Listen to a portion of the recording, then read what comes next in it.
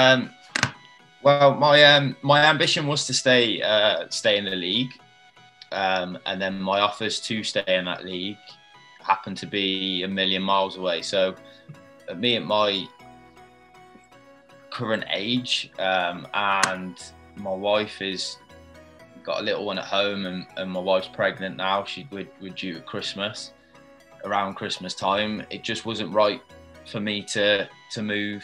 Um, a, a, very long. Well, we didn't want to pick everyone up and move a, a long, long way away to, to, to stay in the league. Um, so then after that was after getting to the point where everyone's getting going back into pre-season, it's so important for me, regardless of what I was going to do. Um, I need to be.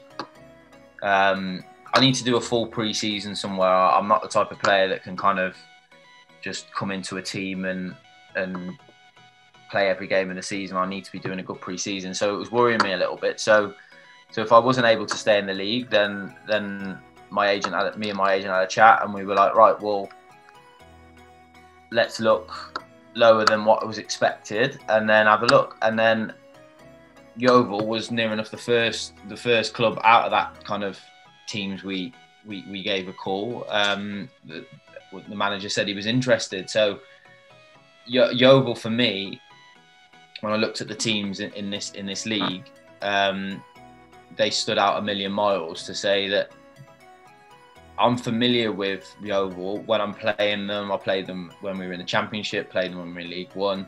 Don't well, I haven't played in League Two, so I've I've come across this playing these teams, and it's always been a tough game. It was all it come to Huish Park. It was always a hard game to come and play. Um, so it was a bit. I wasn't too sure what's actually gone on as to to what what's um, what's the reason why they did end up um, in in uh, in the National League, but screams out to me that it's in a false position and, and it should be higher. So that attracted me that a I don't have to pick up my pick up my whole family and move a million miles away, but there's a job to be done here. It's not. Um, it's not come and take part. Um, this club's more than capable of getting promoted out the league, so that was very um, that's what kind of attracted me. And then, and obviously, when I spoke to the gaffer, it was actually my agent that no, uh, has, has, come across the manager quite a bit, and um, what he said, his kind of style of coaching and, and, his personality would suit me down to a T. And and and I did meet him, and I I, I felt the same. And now I've been with him for nearly a week. I I, I do agree. I think we're going to have a not just the manager, his staff that's with him as well, and, and the, and the players that I've met now. I think we're going to have a really good season. So. Yeah, he loved it. I, I, to be honest, I completely forgot that uh, Lukey came from here. And then when I saw the tweet, he, t- he tweeted was the first thing he saw uh, when when the club released the signing. Then I then it clicked, and I spoke to him, and he's only had he, he, loved it down here. So he was he's actually devastated when he left. So he was um, all words of praise and enthusiasm, and, and happy to me to be down here.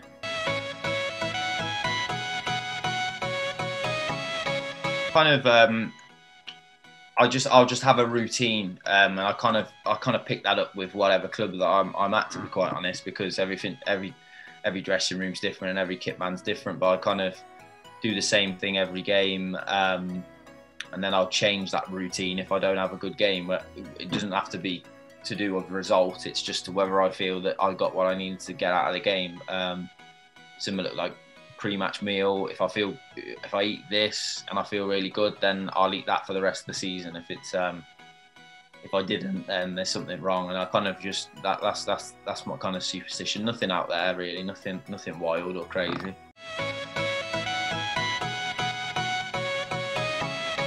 It's a tough question for me because I play with some, some very very good players. Um, I, I, I well, we'll talk about Luke. We were cl- close with Luke and um, we played next week. We played right hand centre back, and I played right wing back um, for the for the years that he was there. He left before me, um, and we were good friends off the pitch as well. So he he's he's now kicked on, and is now. If it wasn't if it wasn't for the fact that we've probably got the best um, right backs in the world at the moment, I'm pretty sure we'd be looking for a for a call up. So Luke's Luke's one that's that would that would kind of stand out at the moment for for Yeovil fans, for example. But mm. I played with uh, um, lots of good players that are now regularly playing in the Premiership, which is a, a handful of them. Dwight Gayle, for example, he's still knocking around in the in the, in the Prem. I think. Um, what else we got? Yeah, there's a few. Wayne Hennessey from um, Wayne Hennessey, the goalkeeper we had at Wolves. He, he's yeah. still out with it. Yeah, there's a, there's a handful, but I'm, I'm sure the exciting ones you want to hear would probably be Luke Ayling, yeah.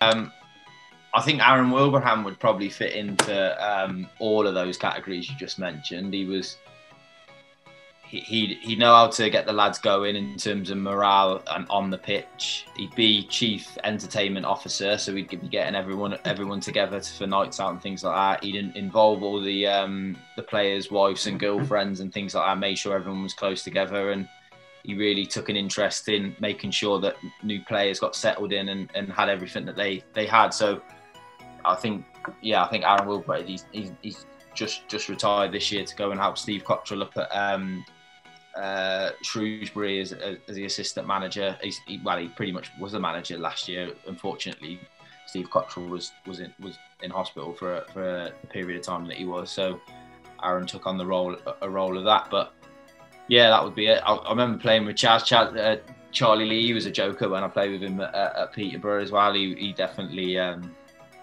got the lads chuckling away.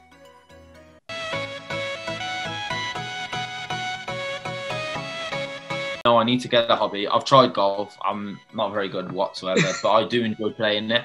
So I think I'm gonna get. I'm gonna have a good few rounds down it. I got brought, brought my clubs around with me. I think once pre-season's finished and I'm not tired and finishing at six o'clock at night, I think I'm gonna um, I'm gonna give give that a go because I did enjoy playing that over the summer. But other than that, no, I haven't really got too many hobbies. It's, t- it's tough to fit it all in now with um, with the little one running around, and I'll, I'll have a second oh, yeah, one.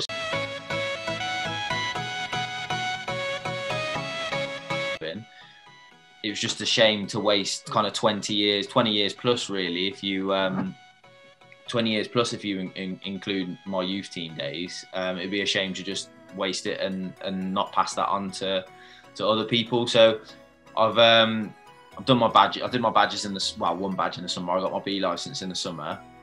Um and it's kind of i'm just kind of exploring at the moment where i did i don't think i want the the pressure of kind of being the number number one in a, at a Premiership club and be a Premiership manager. I don't think that's for me. Um, but again, I, I from doing my B license in the summer, I've worked out that maybe young, young, young kids aren't aren't um, twos and threes and four year olds aren't for me either, to be honest, because my experience. But the, the, the kind of middle age where grassroots um, turning into teenagers and things like that, I think I'd really um, they'd really benefit from listening to, to, to, what I've got to say. So it came about where um, a, a, local lad, a, a, a, now my, my business partner now, a, close friend of mine now is um, he, he, used to play for Cardiff and Swans youth teams, and, and he was looking to open an academy, and he just kind of put our heads together and felt that whilst he's able to do the day-to-day running of academy and for me to kind of put everything my resources and everything else and my experience and things like that i think we just looked at it and thought we got a, a, a perfect team here to to help a lot of, of, of, kids in in swansea area which is which is actually missing really. There's not what in wales it's very different. Uh, when i was in um, when i'm in england you, when you when you drive in around the local parks, it's football pitches, but in Wales it's rugby pitches. It's genuinely so rugby orientated. There's a lack of, of, of football opportunities in, in Swans in, in well in South Wales, I believe. Um, so, hundred when, when my little one's old enough, I don't particularly want him to go to a rugby school. I want him playing football, so he wouldn't have had anywhere to go until I opened this. So we we we, we started it. We, we, we got our heads together and wanted to go, and then COVID shut us down. So we're missing, we're behind a year, but we opened it up. Um, when was the first one? Probably about six months ago now, and it's been, been grown steadily. And we regularly now get over a hundred hundred odd children in um, in in Swansea coming to our, our summer camp. So it's going going quite well at the moment.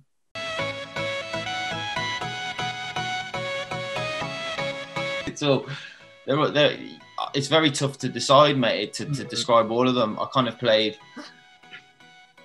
the, the last thing you mentioned there, like was that was that one game you think you bossed it? Well, I think the most important game was where I played in a in a reserve game for Wolves. Um, it was it was against oh it was against Liverpool actually. Um, we actually played that at the, at the Wrexham at the Wrexham ground, mm. and that was a game where my kind of reserve manager was saying, "You're very close to being given a, a contract for next year, um, but the manager hasn't. The, the, the manager of the club hadn't hadn't saw me play too much, so he was reluctant to kind of push me. I was quite young at that point. I was 16, I think. Yeah, six. Yeah, 15 or 16. So all my coaches were quite happy for me to go and train with the first team or, or give, be given a, a, a, pro contract. Where the manager was kind of reluctant because it's, it's, a gamble to him, isn't it? It's another player on his list. I remember playing this just a normal reserve game. So that's all I was playing at the moment. At that moment in time, I wasn't involved with the first team. So my highest game I could play, I was under 17s and it was the highest games. It was, it was kind of what's like a privilege to play with reserves. And then I remember warming up, playing, doing really well in the uh, in the first half. Um, and then I think one of the players come across, or one of my coaches just said, "Oh look, the manager's here, coming to to watch you play now. Um, keep keep it up." Um, and then it, I think you'll be training with him in the next couple of weeks. And obviously I got super nervous then. I, I, managed to have a really good game, got man of the match at one of the youngest players on the pitch, and um, and from that game I kind of was gifted a gifted a contract. So although at the time it wasn't that, it was only a reserve game, um, didn't mean anything or anything at all to either club. I think was it, I think Liverpool pretty much played their kids as well, but um, looking back, I could have had a bad game that particular game, and then that would have my career could have been very, uh, very, very different. That's that's the uh, that's how football works. Really, it's just the manager happened to be there. Um, like I played really well, got man of the match, and then and then the rest was history. Um, which is so that was to start my career, which is probably the most important. Um, and then, like you say, I've uh, play the playoff win with Peterborough um, to go from yeah go from League One into the into the champ was um, I was I was kind of too young to realise what I achieved there. It was it was a, a, massive massive achievement because since then that's what everyone's been trying to do is kind of get promoted out of League One from the teams obviously I've been playing with. Yeah. Instant kind of well a build up, a really big build up, cup circumstances. You've got to win this game, got to win this game, and then. Um, like winning a cup final, really, where you go up a league, which is to the league that I wanted to be playing in the championship. Financially was better as well, so that was it was it was it was a massive, massive point. But was, that was a long time ago now, and I was and I was young, so I didn't quite realise how massive that was. Um, when we won the league with Bristol City, when we won League One outright, to be honest, we we walked that league that year. Was, there wasn't there wasn't you can say that now, but looking back, there wasn't a team that was, would touch us that year.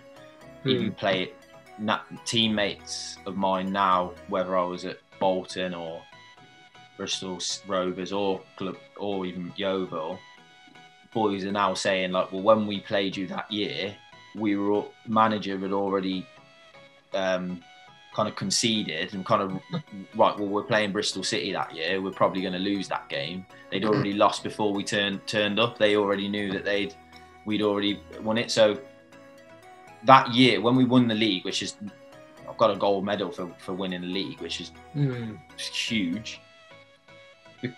Because it happened so early, it wasn't that much of a climax. We'd already done it. We'd, we'd already like realised we'd won the league months and months and months before. So it was kind of anti an anti-climax to one of the biggest achievements in my career. Um, and then the and then the two cups, um, the two Wembley wins in the in the JP the JPT. The Peterborough one was nice because it was it was my first cup win. I was obviously nervous and um, all of that that goes with it. Am I going to play? Is the manager going to pick me? Yeah, he's picked me. Am I going to play? Wow, yeah, I've done okay.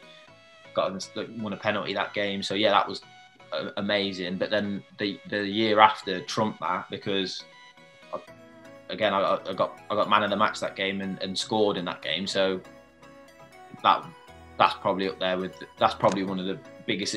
It, if you were going to say a cliche thing for what what was the biggest occasion of your career, that was that was probably it because it was a a cup final at Wembley where I got man of the match and, and scored the winner. So that would be the cliche thing. But back looking, like I said, looking back, that probably doesn't mean anything because if I didn't play that well at Wrexham, I might not have achieved yeah. any all of that. So it's very difficult to choose.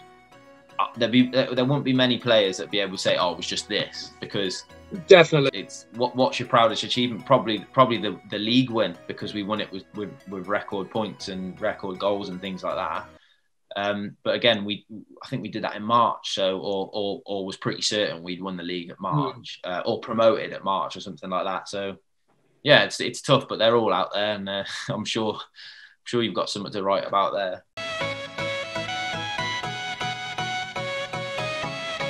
So it's tough to be honest. That one is really tough because um, I, have always looked at myself as, as a championship player. I believe that I could I can hold my own even now in the in the championship. Um, very tough league, very hard. But obviously, that's that's the level I want to be playing at in in, in, a, in a season where I look back and think, yeah, that was tough, but I've achieved mm-hmm. something. But again, I've never. I've never well apart from at Wolves. Wolves was Wolves was different, but again, I was I was so young. I was 17, 18 playing in that Wolves team, the, the, the one that won the league when we got promoted into the Prem. Um, but it was it's it's it's so it's so tough to say. I I, I was the young kid that used to step up from the um, reserves, used to train with the first team, um, and then was hoping to get in the first team squad, and then in a, in a team that were full of world like Paul Ince, Matty Murray, Joleon Lescott, so like really really good players. I can't compare that to being like a, a, a, a main player at Bristol City, for example. It's very hard to kind of compare the two. Yeah. I, I, what what I back to my point. When I've played in Prem Championship teams and I've been 100% part of those Championship teams, like a regular starter, say, I've never played for a Championship teams that dominated the league. I've always been holding on. Say, I've already been mid-table, uh, below tape, below half the table, and then obviously it's a tough league. But I've all, but I've definitely enjoyed playing in League One, where nine times out of ten I'm at the top of the table and we're winning more often. That's way more enjoyable than any relegation fight. If, if you've yeah. got to be completely honest about it, I'd much rather be playing for Bristol City and winning every week than I would playing for Bolton, scrapping every scrapping every week. Um, literally back to the wall every game. So, yeah, it's hard, mate. It's hard. so I've played. We, we had a league for uh, our first year when we got promoted with Peterborough. We did really really well. We finished mid table and mid table for the squad that we had at the time in terms of how now those players have now kicked on. They're they're, they're Premiership boys and Dwight Gayle, Um, George Boyd, Lee Tomlin, Aaron McLean. They're lads that have kicked on to, but at the time, none of, none of us had played higher than League One. We were all like a kind of League One team giving us everything, and we finished mid table. So I was very proud of that year. But that was yeah. really impressive. I really enjoyed that year, although it was so hot. It was so tough. That was so tough that year. Tough, tough, tough, tough, tough. Because um, we were playing better players. We were playing against better players and, and, and nicking results every now and again. So I think I think Chaz was part of that. I'm not sure what league. Think well, at some point he was in the champ. Charlie Lee was, yeah. Um, and I can't remember whether he was with me that particular year or not, but I remember him being part of um, an enjoyable season.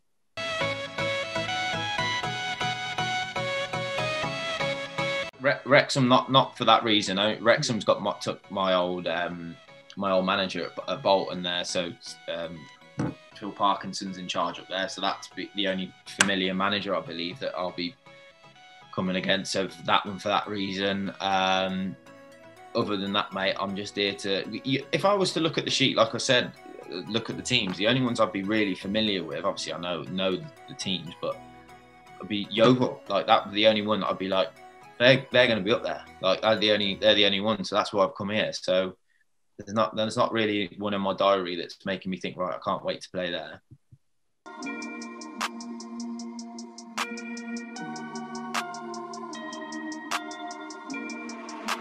was care if they put me in.